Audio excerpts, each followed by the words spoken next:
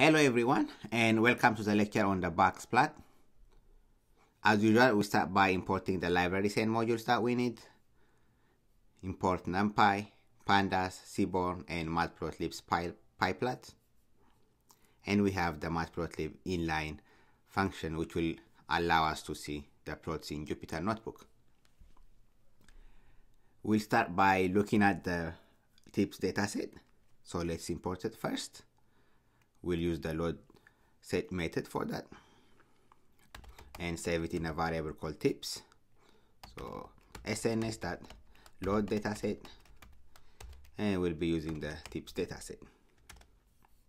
Once we have that, let's start by looking at box plots for a single variable. So if we see the dataset for our tips, we have total bill, tip, sex, smoker, day, time, and size. Let's start by looking at a single horizontal box plot for, let's say, size. Okay? So we have SNS, and we simply call the box plot method that Seaborn has. SNS.boxplot, and then we'll pass the variable for our x-axis. So we'll be looking at the size variable. So we'll need to index it from our tips database, right? From tips dataset. So tips, and then we'll simply pass size. Okay. Now let's run it. So here we have a single horizontal box plot. So we have size, from 1 through 6, and that's our box plot. Similarly, let's see a single horizontal box plot for some of the other variables. For instance, total bill. So we have SNS that box plot and then we'll index total bill from our tips dataset. So total bill, run it. And this is what it looks like. It ranges from 0 to 60. And we have our box plot. Next, let's see how we can draw a box plot for two variables. So x and y axis. Okay, let's consider the sex variable and the total bill variable. So sns dot box plot and then we'll pass our x and y variables. So we'll use the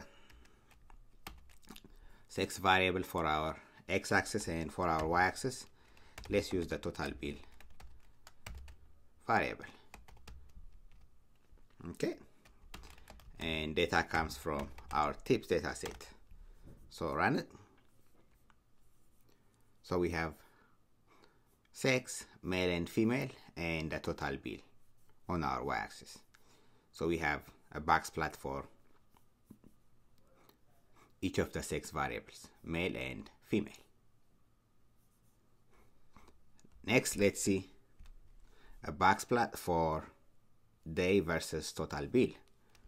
So SNS that box plot, and then for our x-axis we'll use day, and for our y-axis we'll use total bill. And our data comes from the tips dataset. So run it. Now we have day on our y-axis, on our x-axis, Thursday, Friday, Saturday, and Sunday. And we have total bill on our y-axis. So for each day we have our box plot. We can also combine these two box plots by passing a hue. Uh, let's pass a hue for this dataset and then see what the result looks like. So we have sns.boxplot. And then for our x-axis, we have day. For our y-axis, we have total bill. And the data comes from the tips dataset. What we'll do is we'll pass the hue attribute and then set it to, let's say, 6. Okay. and run it so here we have our box plots for each of the days now we have for each day we have male and female right that's the hue and we can change the color of this if we want by passing the palette attribute palette and then let's set it to HUSL for instance. And now we have a different palette. Okay? Let's take this example and then pass the smoker variable as hue. So instead of 6 let's say smoker. And let's change our palette to cool warm and run it. Now we have days versus total bill and in each day we have a box plot for smoker and non-smoker. And sometimes some of these beans might be missing for some of the variables okay? In that case you might see a single box plot for one of the days versus two box plots two box plots for another day let's see an example of that.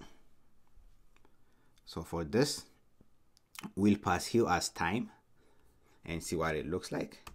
So sns.boxplot let's pass day as our x-axis and then for our y variable we'll pass total bill.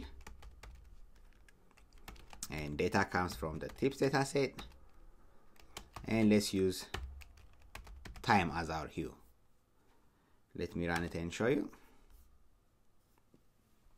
So here in this case we have lunch in blue and then dinner in green.